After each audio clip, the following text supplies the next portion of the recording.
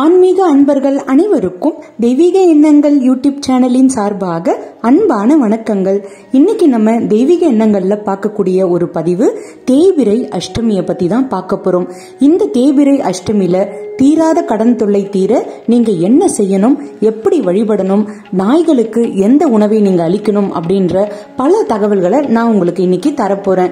தெய்வீக எண்ணங்கள் சேனலை இப்பதான் நீங்க முதல் முறையா பாக்குறீங்கன்னா கீழே இருக்கிற சப்ஸ்கிரைப் பட்டனை கிளிக் பண்ணிக்கோங்க.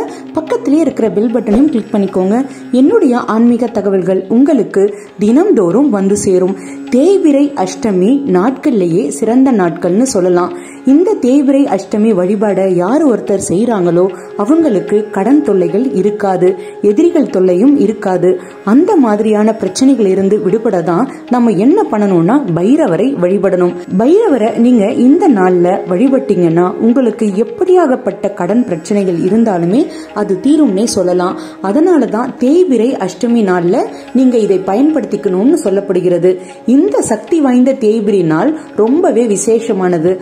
டெய்லியுமே தேய்பிரை அஷ்டமி திதி அப்படின்றது பைரவருக்கு ரொம்பவே உகந்த நாளாக கருதப்படுகிறது.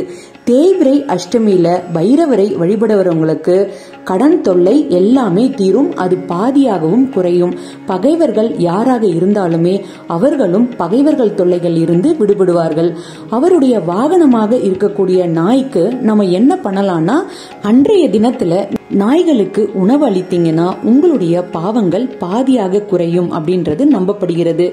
இந்த தேய்பிரை அஷ்டமியில எப்படி வழிபாடு பண்ணணும் அப்படின்றத இப்ப நம்ம பார்ப்போம்.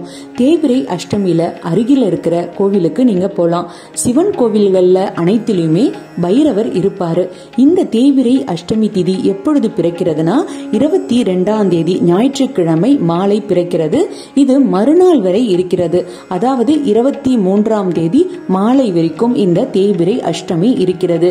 இந்த தேய்பிரை அஷ்டமி திதியில நீங்க சிவன் கோயிலுக்கு போயிட்டு அங்க இருக்கிற பைரவருக்கு மிளகு தீபம் நீங்க ஏத்தணும். மிளகு தீபம் நல்லெண்ணெய் ஊற்றி நீங்க ஏத்துனீங்கன்னா எப்பேற்பட்ட பெரிய கடன் தொகை பிரச்சனை இருந்தாலுமே அதுல நீங்க சிக்கி இருந்தாலுமே அதிலிருந்து உடனடியாக நீங்க மீண்டு வரலாம். இது அசைக்க முடியாத நம்பிக்கையாக ஆன்மீகத்துல சொல்லப்படுகிறது.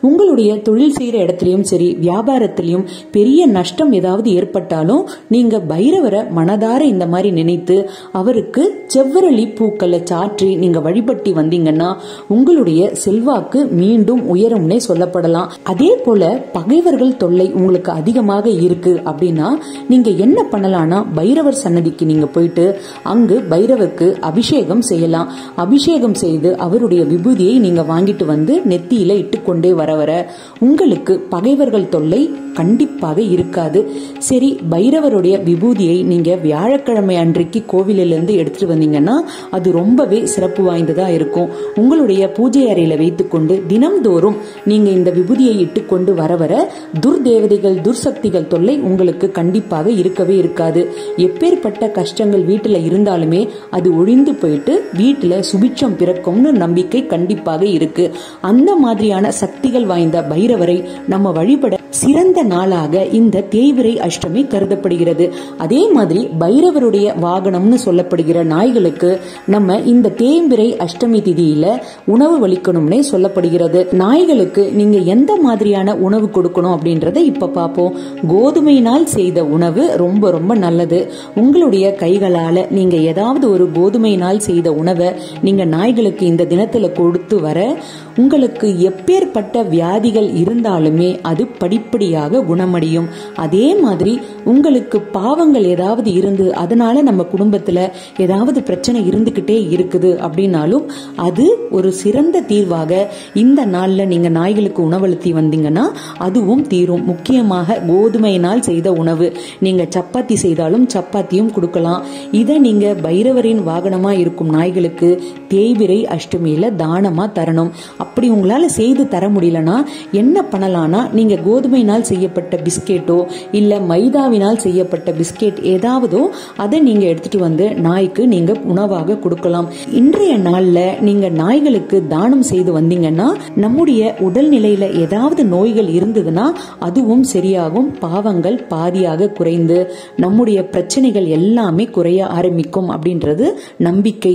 இந்த தேய்பிரை அஷ்டமியை நீங்க பயன்படுத்தி கொள்ளுங்கள். உங்களுக்கு அருகில் இருக்கிற சிவன் கோவிலில் இருக்கிற பைரவருக்கு அபிஷேகமும் அதற்கப்புறமா நான் சொன்ன இந்த மாதிரி மிளகு தீபமும் ஏற்றிக்கொண்டு வர வர உங்களுடைய வாழ்க்கையில் எப்பேற்பட்ட கடன் தொல்லைகள் இருந்தாலுமே அதுவும் தீரும். இது அசைக்க முடியாத ஆன்மீகத்தில் இருக்கிற ஒரு நம்பிக்கையும் கூட. நீங்களும் இந்த தேய்பிரி அஷ்டமியை பயன்படுத்திக் கொள்ளுங்கள். இந்த தகவல் உங்களுக்கு பயனுள்ளதாக இருக்கும்னு நினைக்கிறேன். இதை நீங்க பயன்படுத்திக் கொள்ளுங்கள். இதை உங்களுடைய நண்பர்களுக்கும் உறவினர்களுக்கும் தெரியப்படுத்தலாம்.